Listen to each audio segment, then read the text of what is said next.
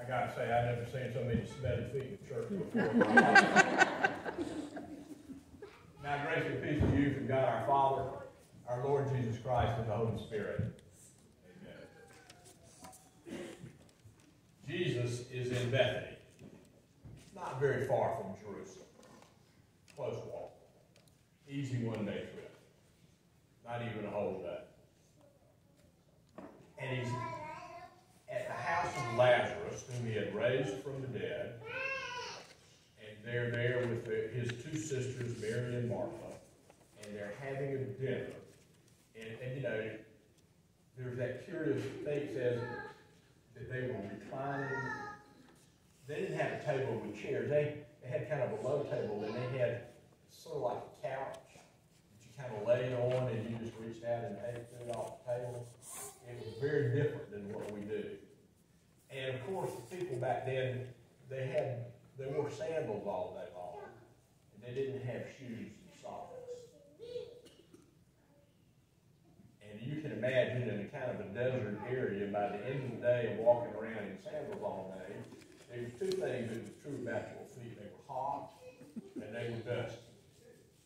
And they probably were not near as aromatic as the feet we had up here this morning with the children's service. Probably more like that with them getting stuck back in the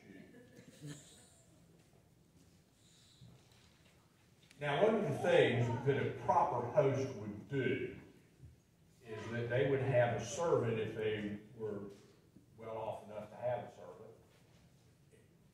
Slave would be the right word in that world. Who would have a towel and a basin of water, and when you came in, you would take your sandals off and stick them by in the hallway somewhere, and they would wash your feet off so that they would get the grime and the heat of the day off, and it, you know, and they would cool them off. So Jesus is at the table, reclining instead of sitting up nicely in a chair. I'm not sure when we invented chairs, but it wasn't yet. What do you think about it? You know, one of the great inventions in the world was a chair with a back on it. Which, you know, in terms of how long we've been around, is a fairly recent invention. And Mary comes um, in with a jar of nard. Now, she's right. Comes from several countries over. The plant out of which you make nard grows native in Nepal. Now, so they're in Jerusalem, or, or close to Jerusalem, in modern day Israel. So they've got, this is what's in between them. Jordan, Iraq, Iran, Afghanistan, India, Bangladesh, Bhutan, then Nepal. That's a long way. Several thousand miles. And it probably was made into nard there in Nepal and put in a jar, and then it went by camel to the west coast of India, where it probably got on a ship. Uh, it's the word would be it's D H O W. It's pronounced Dow. It's a kind of a small ship with one mast and a kind of a slanted sail, and it would sail around in the Persian Gulf or even up into the Red Sea where it would be offloaded and make its way in somewhere like Israel. Now you can know that's expensive. It says it's a year's salary. In Greek it says 300 denarii.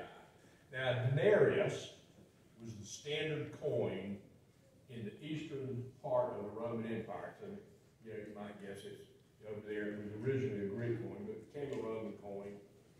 And it was the daily wage people who did day labor. And, if, you know, people, a lot of the people that were not well off, you know, were just average folk, didn't actually have jobs to go to. They would go to the town square, and whoever had work for the day would pick out who they wanted to work for them, and you were hoping every day somebody would pick you out. And the daily wage was a denarius, and 300 was about a. Now you could live on that. You didn't live well, but you could live on it. So this is something that's very, not only is it exotic and from very far away, you know, for an average day laborer, it was right at what they would earn in a whole year and support a family with. Now, I don't know what they say in the United States today, you've got to make to support a family, but I bet it's more than $300. Fact, it may be three hundred dollars a day is what you would need. I don't know. It's hard to translate that into an equivalent. And Mary comes to Jesus, pours this ointment on his feet, and then uses her hair to kind of wipe it all off and stuff like that. And of course, the aroma fills the room. Judas goes, you know, we could have saved this and sold it for 300 denarii for a whole year's wages and given it to the poor. We understand that John let us know that that wasn't really Judas Iscariot's concern because he, he sort of has a disdain for the poor. He was a banker in their little group of fellows. He's the one that kept the common purse, and we understand he would pilfer money out of it for his own use. And you go to yourself, how does this guy get to be one of the twelve disciples? I don't know. It's not what you would think. But he does. And we see very clearly that even among those who have followed Jesus day by day by day in John's gospel for three years, they still don't get what Jesus is about. Judas, who has lived for three years now with Jesus daily, who's heard him teach, heard him, seen him heal, seen him give comfort to people, seen him feed people. What was it? Two fishes and five loaves? Thousands of people. And he still doesn't get it. And the truth is, people today still don't get it. They don't understand. They don't understand the church. They don't understand Christianity. You know, it drives me crazy sometimes. It does. I'm a, I, I, an admitted TV addicted person. My wife will tell you that the first thing I do when I walk in the door, when I've been away, is I walk over and turn the TV on, even if I'm not going to be in the room with the TV for another five or ten minutes. I suspect might be one other person in here like that. Maybe more than one. I like to have the TV on. I go in in the mornings after, you know, get my shower, get cleaned up, get myself ready for the day, and I'll leave the TV on, and my wife says, can I turn it off now? And I go, no, I want to listen to it. I like having it on. I'm a terrible person. But one of the things that I, I have learned about watching TV is, is that people that write all these TV shows, they ain't got a clue what a church is or what Christians really believe. They are completely lost. Every once in a while, I think to myself, I ought to sit down and write a book. I'm not sure I got the ability to really do that. Or the perseverance to stick to it and see it through. That's probably true. That's one of my favorites. But they don't understand what the church is, as an institution is about. What we are is a, as a people who get together and worship and work make the world a better place than it was when we, when we came into it. Which really, if you want to answer, what is, what is the church really concerned with? Well, of course, we want people to have a good relationship with Jesus. The other thing is we want to leave the world in a better condition than when we came here when we arrived. And, know, like any human institution, the church isn't perfect, but it's done a lot of good in the world since it's been around. But people don't understand what's going on, and they understand who Jesus is and what Jesus is doing for us. Jesus here in this lesson today is letting us know his death is imminent. It's coming. He is going to fulfill God's purpose in sending him into the world, and it's going to require his death. And he does it not for himself, but for us. Wow. For us.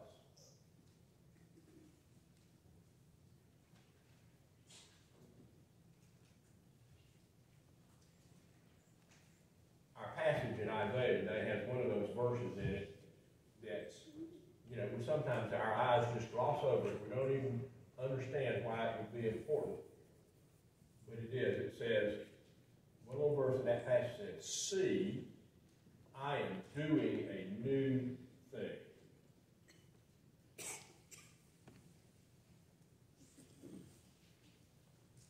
Until prophets like that, like Isaiah, put this in Scripture, the idea that there was something new didn't exist.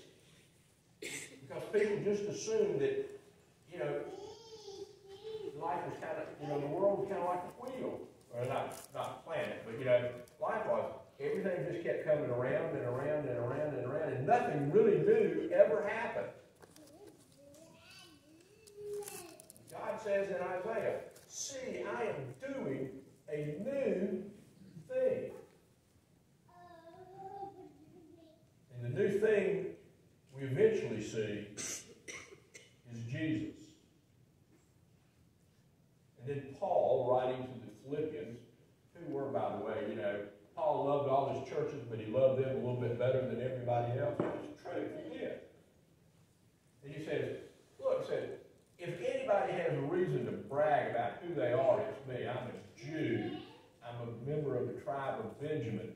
Um, and on and on about how good he is. He says, as you know, as to the law of Pharisee, as to legal righteousness, perfect. He's perfect. He obeys the law perfectly all the time. And then he goes on to say, but all these things in which I can take such great pride in, when I look and compare that to the gift that God gives me in Jesus, I'm going I'm going to scandalize y'all now. We always say in, in, in Bibles, it always says rubbish or garbage or something like that. In the Greek, it's the stuff that runs through the sewer. Can't make this stuff up. Right there for you to read. Greek word. And he says that's what it's worth compared being in relationship with Jesus. God gives us this great, beautiful gift. A gift that turns into salvation. A gift that allows us to be, as much as we can, people God intended us to be at the beginning of creation. It's a gift of love that we cannot fully comprehend, but we know in our hearts we need it terribly. Mary comes in and washes Jesus' feet with nard, this beautiful perfume. That one of its chief uses in their world was to anoint a dead body to keep the smell down. That's the truth. What she's doing is prefiguring or foreshadowing what's going to occur on Good Friday. It's coming. You know, it's just like we walk